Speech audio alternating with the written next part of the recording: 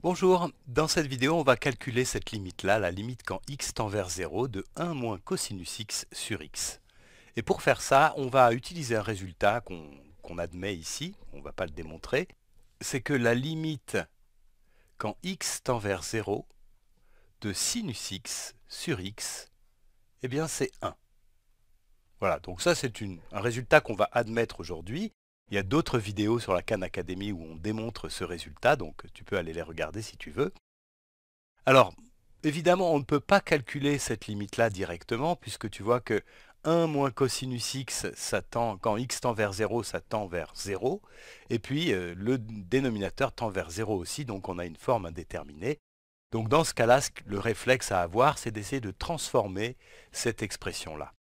Pour ça, en fait, je vais multiplier le numérateur et le dénominateur par 1 plus cosinus x. Donc, voilà, je fais comme ça, je multiplie donc par 1, ce qui veut dire que je ne change pas la valeur de mon expression. C'est quand même quelque chose d'important auquel il faut faire attention.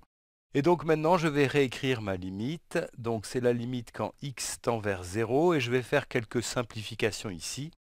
Alors, au numérateur, j'ai 1 moins cosinus x multiplié par 1 plus cosinus x. Donc ça, c'est une identité remarquable. Ça me donne 1 moins cosinus carré de x.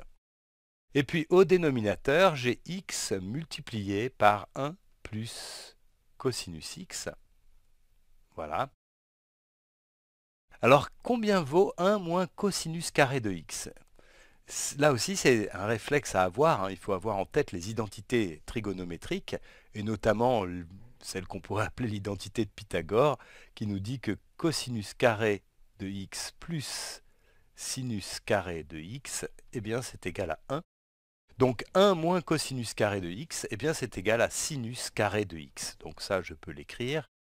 Du coup, j'ai limite quand x tend vers 0 de sinus carré de x divisé par x facteur de 1 plus cosinus x.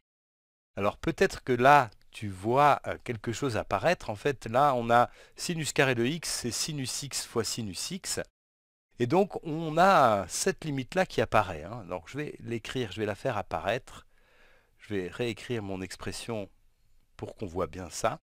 Donc c'est la limite quand x tend vers 0 de sinus x sur x multiplié par sinus x sur 1 plus cosinus x. Voilà. Alors là, on a un théorème sur les limites. Hein. La limite d'un produit, c'est le produit des limites. Et du coup, on peut écrire que ça, c'est égal à la limite quand x tend vers 0 de sinus x sur x, sinus x sur x, multiplié par la limite, quand x tend vers 0, de sinus x sur 1 plus cosinus x. Alors, pourquoi ça nous aide ça? Eh bien, d'une part, on sait que la limite quand x tend vers 0 de sinus x sur x, c'est 1. Donc ça, c'est 1. Et puis ici, on n'a aucun problème en fait pour calculer cette limite-là, puisque quand x tend vers 0, sinus x tend vers sinus de 0 qui est égal à 0, et cosinus x tend vers 1, donc 1 plus cosinus x tend vers 2.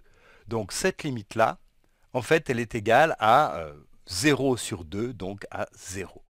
Et tu vois qu'on a terminé, on est arrivé au bout de nos peines, puisque la limite qu'on obtient, c'est 1 fois 0, il n'y a aucun problème à calculer ça. 1 fois 0, ça fait 0.